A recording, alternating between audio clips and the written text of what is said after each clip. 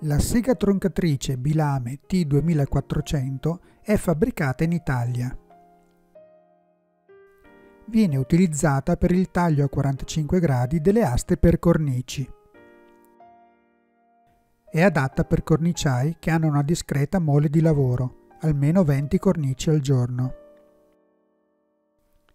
Ora vediamo nel dettaglio come funziona la sega.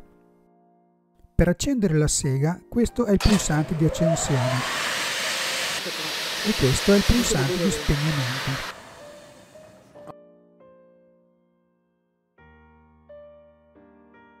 I pressori verticali hanno il compito di tenere bloccata l'asta durante il taglio.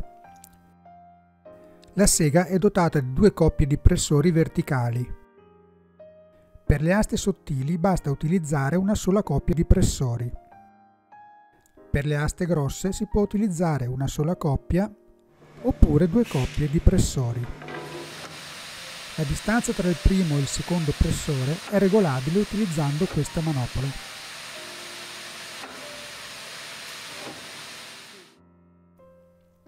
I pressori orizzontali servono per spingere l'asta contro la barra di appoggio e tenerla bloccata durante il taglio. Per farli funzionare bisogna dapprima ruotare questa manopola. I pressori orizzontali entrano automaticamente in funzione al momento del taglio, cioè quando si premono i due pulsanti appositi. Hanno tre posizioni fisse adatte per aste di larghezza di 4 cm, larghezza di 6 cm e larghezza di 9 cm. Per le aste sottili non servono poiché basta il pressore verticale. Se l'asta ha una larghezza superiore alla posizione del pressore, non riesce a passare. In tal caso bisogna modificare la posizione del pressore ed è un'operazione piuttosto lunga. Si apre il cofano che protegge le lame e si effettuano queste operazioni.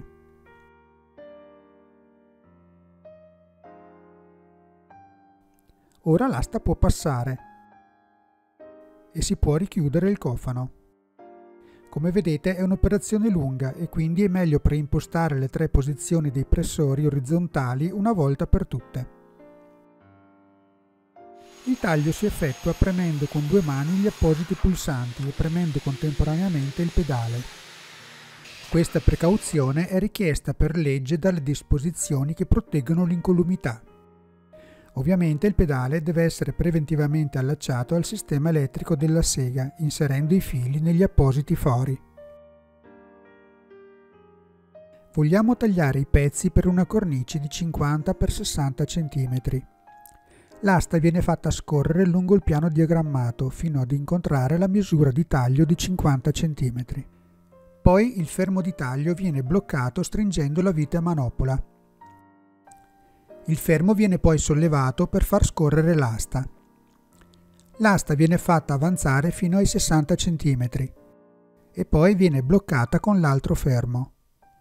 La larghezza massima di taglio delle aste è di 10 cm. La lunghezza massima di taglio del piano diagrammato è di circa 130 cm per le aste molto larghe come questa e di circa 140 cm per le aste sottili. È però possibile una lunghezza maggiore se si utilizza la prolunga destra. Vediamo ora alcuni dettagli della sega. Per modificare l'altezza della protezione di plastica bisogna svitare questi pomelli e sollevare o abbassare la protezione.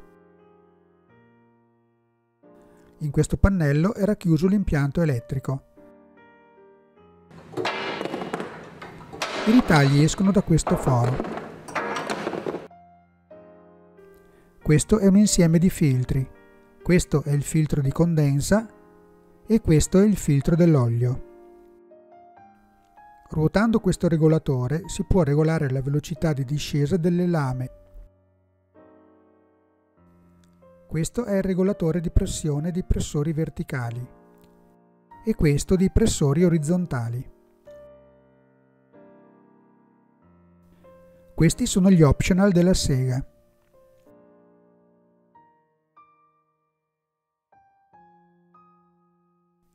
Il montaggio della prolunga destra con piano diagrammato si esegue in questo modo.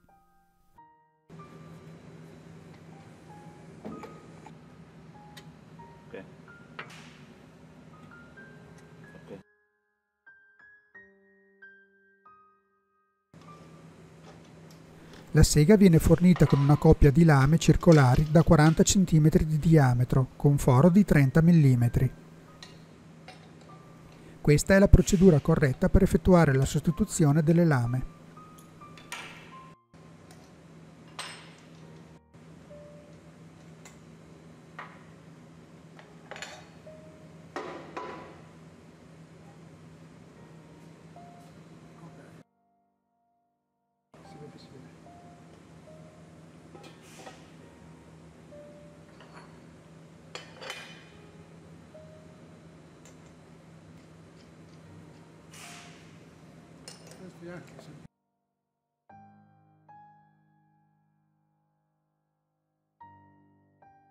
Per la sega T2400 la Rinaldin fornisce le seguenti lame di riserva.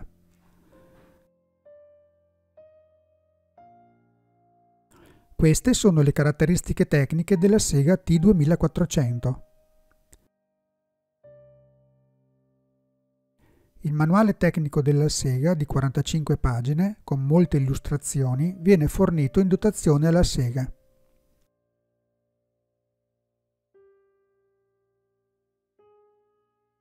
Troverete la sega T2400, le lame di riserva e gli optional nel catalogo della Rinaldin e nel sito www.rinaldin.it.